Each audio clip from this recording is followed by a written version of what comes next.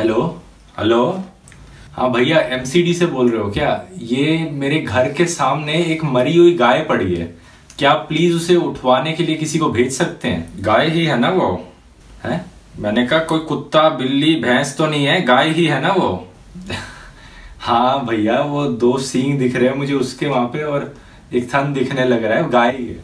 अच्छा तो हमें ये बताइए, उसका कावधार नंबर क्या है? कावधार क्या ये क्या चीज़ है? कावधार नहीं जानते क्या?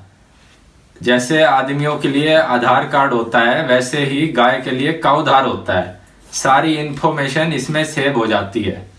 गाय के कान के नीचे चेक करिए, वहाँ पे आपको उसका कावधार नंबर मिल जाएगा। जरा चेक करके हमें बताइए क्या है नंबर। एक एक मिनट, में देख के आता हूँ जरा।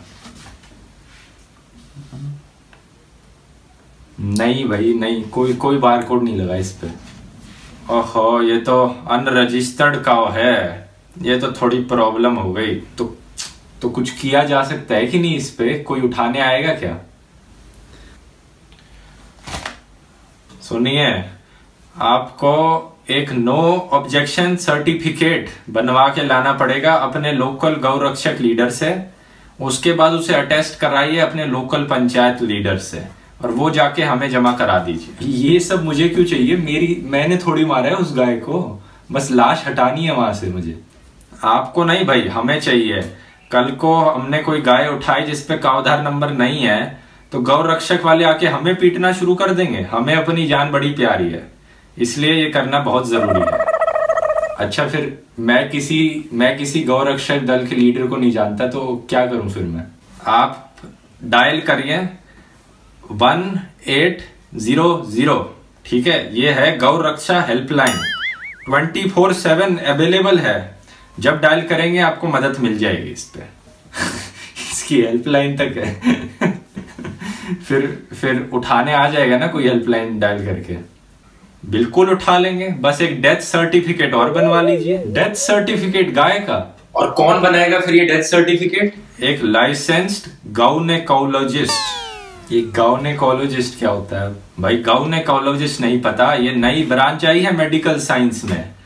ये 18 करोड़ से ज़्यादा पोटेंशियल पेशेंट्स हैं हमारे। सारी ही गौ माता हमारी पेशेंट्स है।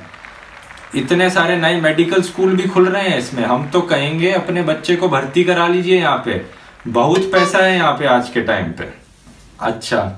तो पहले एक नो ऑब्जेक्शन सर्टिफिकेट बनाऊँगा, फिर एक डेथ सर्टिफिकेट बनाऊँगा मैं, ठीक है? उसके बाद तुम गाँव गाय को उठाने आ जाओगे ना? बिल्कुल। बस फिर एक रिलीज़ फॉर्म बनवा लीजिए अपने डिस्ट्रिक्ट एनिमल वेलफेयर यूनिट से, और फिर हो जाएगा आपका काम। पर मरी हुई गाय और किसकी प्रॉपर्टी हो सकती है? मरी हुई है वो तो। तभी तो ज़िंदा होती तो क्या हमें कॉल कर रहे होते? ये तो पागलपंती है, बिल्कुल। अब ये कितना टाइम लगेगा रिलीज़ फॉर्म साइन करने में? डिपेंड करता है। कई बारी अगर आप लकी हैं, चौदह दिन में ही काम हो जाएगा। कुछ एड छपने के चौदह दिन काफ़ी होते हैं, लेकिन कुछ ऑफिसर्स कहते हैं एक दो महीने तक छापो। चौदह दिन की एड मिसिंग पर्सन एड का नाम सुने हो? एक गाय की फ़ोटो उतारना, उसकी कोई आइडेंटिफिकेशन मार्क होगा बॉडी पे। उसकी भी फ़ोटो उतारना और एड छपवा देना एक इंग्लिश अखबार में और एक हिंदी अखबार में। और चौदह दिन तक ये एड चलते रहना कम से कम ठीक है? भाई भाई तुम अपना थोड़ा खुद का दिमाग लगाओ ठीक है? चौदह दिन तक मैं ये काम करूँगा तो इतने में वो उसकी जो लाश पड़ी हुई है वो सड़ के बदबू मारना शुरू कर देगी। फिर क्या फ़ायदा होगा इन सब चीज़ों का? भैया रूल्स एंड रेगुलेशन हैं हमारी भी मजबूरी है हम क्या कर सकते ये ना ये तुम अपनी बकवास अपने पास रखो मैं क्या कर रहा हूँ? अभी मैं दो तीन बंदों को लाके लाश खुद ही उठवा दू। ना ना तुम्हारी तुम्हारी कोई ज़रूरत नहीं है मैं फिर। ये नहीं करना चाहेंगे आप। क्यों? देखिए भैया हमारी ये कॉल रिकॉर्ड हो रही है और सारे ही गौ रक्षा की अथॉरिटीज गौ सेवा की अथॉरिटीज इसे सुन रहे हैं। तो मैं आपको बोलूँगा आप अपना फॉर्म लीजिए और अपनी फ़ीस जमा कराइए और इससे छुटकारा पाइए। फ़ीस? अब फ़ीस किस चीज़ की? भाई वो अपना ये काम काज में फ़ीस तो लगी जाती है, पाँच से पंद्रह हज़ार के करीब लग जाएँगे आपके। ये तो तुम क्या है डे लाइट रॉबरी कर रहे हो तुम तो। लूट नहीं भैया, ये है ई cownomics welcome to new India